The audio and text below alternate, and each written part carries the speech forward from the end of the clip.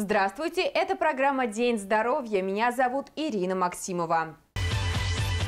Спонсор программы – медицинский центр Елены Малышевой. Дорогие друзья, в Твери открылся медицинский центр Елены Малышевой.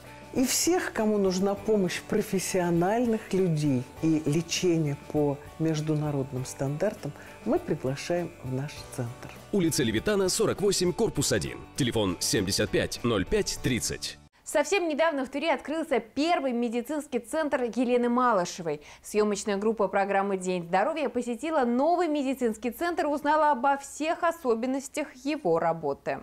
Сегодня в России работает только 14 клиник Елены Малышевой. Одна из них распахнула свои двери в Твери. В столице Верхневолжья будут развивать два основных направления – женского здоровья и диагностики. Поэтому, обращаясь в клинику, вы можете рассчитывать на особую профессиональную заботу, внимание и комфорт. Медицинский центр оснащен по последнему слову техники и каждому пациенту готов оказать помощь на уровне современных международных стандартов, провести необходимые диагностические процедуры и лечение для восстановления здоровья. Здесь ведут прием компетентные специалисты разных направлений. Терапевты, эндокринологи, отоларингологи, гинекологи, кардиологи, гастроэнтерологи и неврологи. Благодаря комплексному подходу, богатому опыту докторов, использованию современных международных стандартов лечения, новейшего оборудования, команда добивается положительных результатов, избавляет пациентов от легких недомоганий и серьезных заболеваний. Если пациент пришел к врачу с болью, то уйти должен без нее, считает врач-невролог. Можем помочь вот паравертебральными блокадами или э, пара суставными, околосуставными, то есть не входим в сустав. Это противовоспалительные действия они имеют, противоотечные.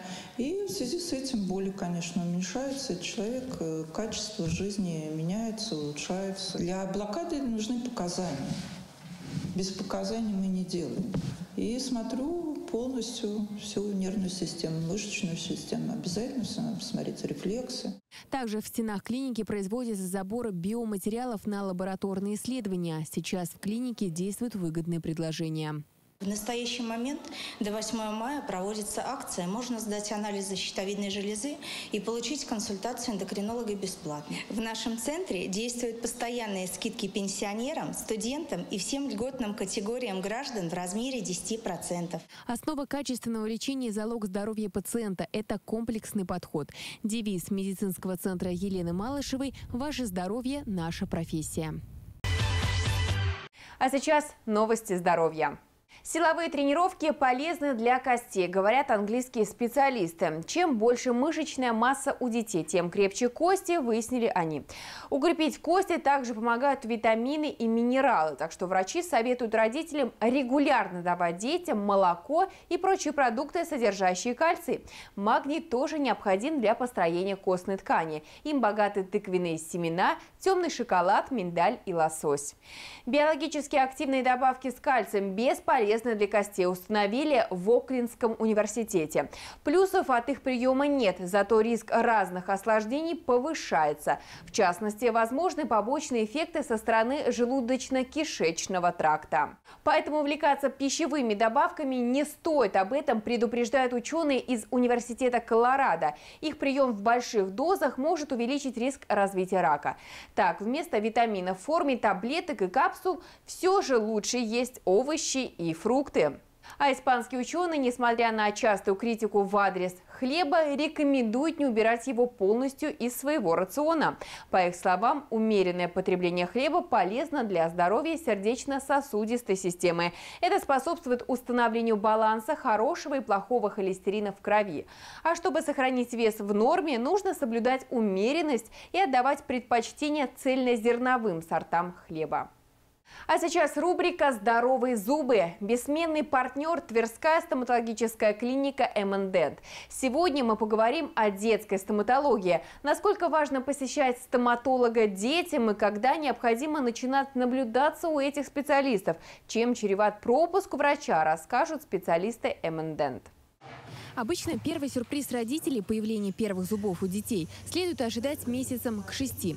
Однако сроки прорезывания могут варьироваться. Многие родители не уделяют должного внимания гигиеническому уходу за молочными зубами ребенка, думая, зачем столько суеты вокруг молочных зубов, ведь они все равно выпадут. Это неправильно, поскольку молочные зубы необходимы не только для оживания, но и для правильного роста и развития челюстей, речеобразования, дикции, для формирования постоянного прикуса и гармоничного развития лица в старшем возрасте. Как только прорезали зубки, нужно обязательно идти к стоматологу, и стоматолог опять же скажет, как ухаживать за зубами. Очищение начинается с момента прорезывания первых зубов. Нужно посмотреть уздечки языка, губы, слизистые. Это очень такая распространенная патология, как расщелины. Врачи отмечают, что кариозное разрушение, которому подвергается корень молочного зуба, может передаться на зачаток коренного и придется лечить уже постоянный зуб. Разрушенные молочные зубы являются источником инфекции. И часто эта инфекция проходит за пределы корня, вызывая гибель или воспаление самого зачатка.